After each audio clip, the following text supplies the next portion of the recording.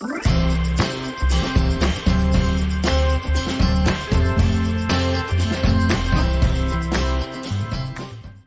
I'm Chris, And I'm Cynthia. and we're the Hanier family. So we're going to do another request for you guys. This one is from Peter Mizon. Um, the band is called Curved Air. We've never checked this one out on the channel before. No. Um, and the song is called Back Street Luv. Mm. Back Street Luv. Yeah. Yeah. Now it says there, according to what I just read quickly, was that they were an English progressive band. So this should be interesting. I don't have a clue who they are. So Hmm. Yeah. Right. So, Back Street Luv by Curved Air.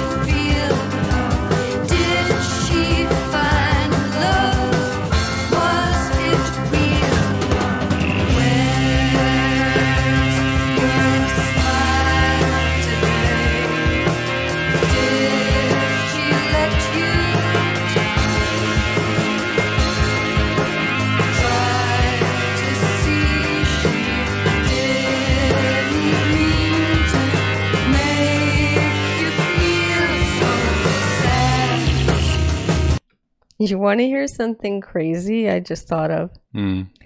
I think the Nightwish fans would love this Yeah. because of her vocal styling with this music. It's so cool. I think that they would. Hmm. It's like a softer version from what we've heard so far, anyway, of what Nightwish could be Hmm. sometimes. Not as strong a voice though. That No, vocal, no, her like- vocals very um. What was what's the word? It's really soft for this style, yeah. but I like how it's changed up in this other part where she's using a little bit of a deeper sound, Yeah. and I'm wondering what else she's got. Maybe she has more. You know what I mean? Maybe. This uh, it sounds great, like uh, musically. It sounds yeah. great. Oh, it's I, good. Just when I when the vocal came in, I, I was really grooving. And then the vocal came in and made it's a little bit soft for this. yeah, Yeah, that's. I wasn't sure if I could call it a good singer, but as as she went on, it started really to fit. Yeah, she's starting to get into a deeper style too. It sounds like so. Hopefully, Hmm. this picks up into a different. Yeah, Well, Sound I don't know if it's going to pick up anymore though. I mean, We'll see. it's changed twice now. Yeah, but you never know. We'll see. All right.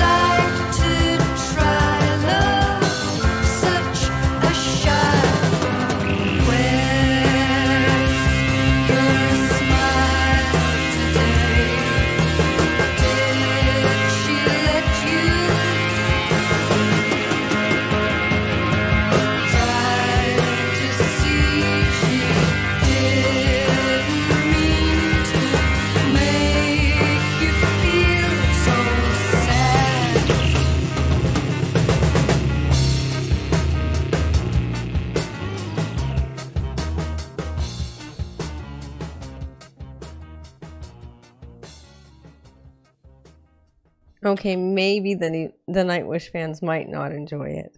No. I mean, musically, it's awesome. Yeah, no, it sounds really good. It's musically. awesome. I can't get over the how fuzzy they made the guitar so that it almost sounds like the organ on the other yeah, side. Yeah, it's fantastic. yeah. But the problem for me, and I'm sure for you, is that the vocal is just too soft for this. Yeah, I think so. It's so like very soft. Mm. And there's only the one part of the song where she uses a different, deeper vocal. Yeah. Like the I guess that's the chorus. Mm. That- Something like that. Something it's half it was twice in the song.